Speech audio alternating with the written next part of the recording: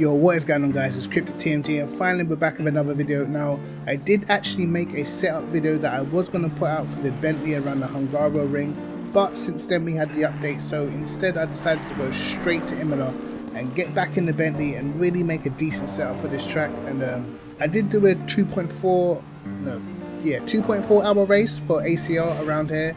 Um, I didn't figure out the setup completely, but I had it to the point where it was nice and comfortable. If you guys watched that stream, it was definitely a laugh. Thanks for everyone who tuned into that stream. But anyway, I've managed to improve the setup. The car feels a lot better. I'm going to be bringing out quite a few setups for Imola because right now it's hot and everybody's on the track and to be honest since it's come out i haven't really done any other track at all.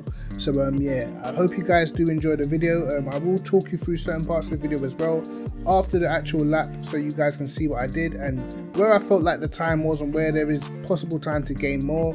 Um really really important track to get set up right because the curbs are killer around here. So anyway i hope you guys do like the video. Kryptic TMG and i'll see you in a bit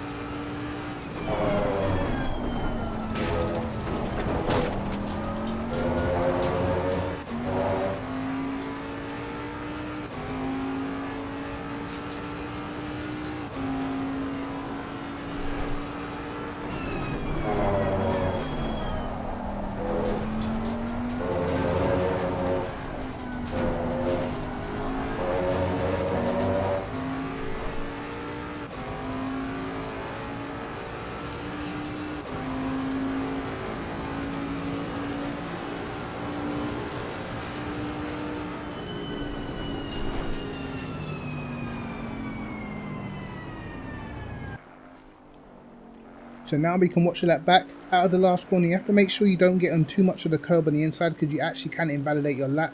And also there are little sausage curbs that can sort of disturb the acceleration. But you're going to get a good run down the straight. Um, quite integral to have decent straight line speed around this track because it does um, hinder your first sector if you don't. But braking in a straight line, really have to mash across the first curb. In the Bentley, you can get away with it. In some of the sort of mid-engine, rear-engine cars, it is a lot tougher to sort of throw the car over the curb. But in the Bentley, it is okay. Not as good as the AMG or maybe the Aston, but still very nice. Again, through this corner, the Bentley does get a little bit sketchy. Take a little bit of curb, not too much of it will spit you out straight into the gravel.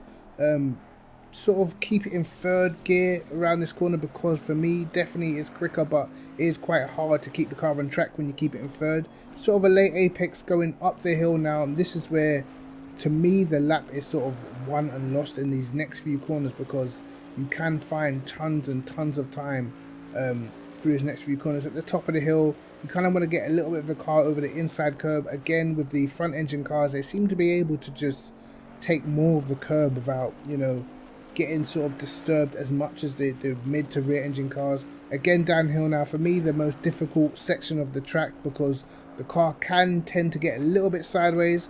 And then when you're braking and turning for this corner, when you put the nose in, you can actually hit the curb and then it bounces you out, invalidates your lap. So here, this is where the Bentley really stands out. Really throw the car over the curb as you get into this section now.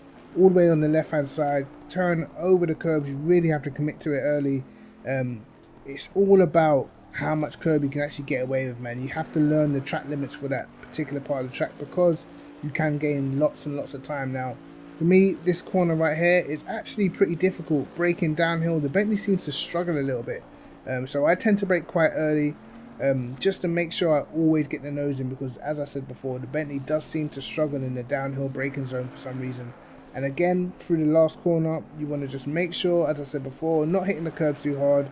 Run it all the way out on the curb on the outside. Be careful not to hit the gravel and then pretty much the least line of resistance to the line and just try and straight line as much as possible. You can see we actually managed a decent time, man. 41.0 was not too bad. I actually could have nipped into the 40s, but I didn't get as good run out of the uh, the last corner as I would have wanted to. But um, the lap was still pretty good. So I hope you guys do enjoy the setup. Uh, you can see my sector times there. Um, not all the best sectors on the same lap. We definitely could have hit a 1 minute 40, but I felt as if you know, the setup was good enough.